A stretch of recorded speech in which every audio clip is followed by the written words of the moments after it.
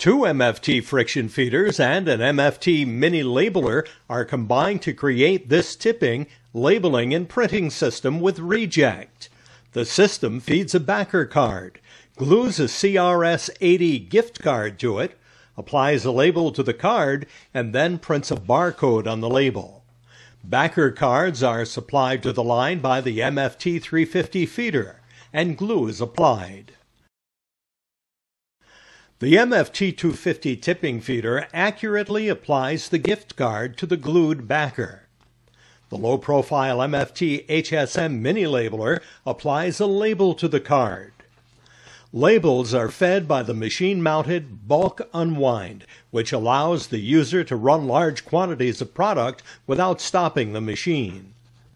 The versatile HSM mini labeler can be used on many applications, including a folder gluer and other line variations. Label printing is done with an HP style printhead. In this application, it's printing a 2D barcode on the label. A scanner verifies the barcode accuracy and placement. Completed product is discharged to a bin. Cards that are not properly processed are sent to the reject bin.